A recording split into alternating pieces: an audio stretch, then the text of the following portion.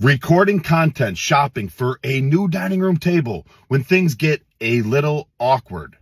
Anyone else sick and tired of these content creators going in public spaces, setting up a video camera and acting entitled like they own the place and you have to stop everything you're doing for their video?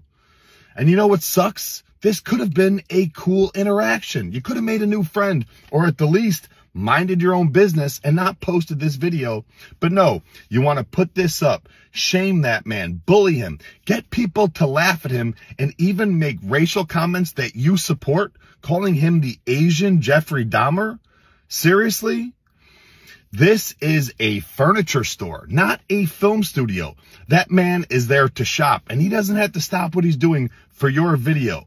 I can't believe that you think it's okay to treat people that way. You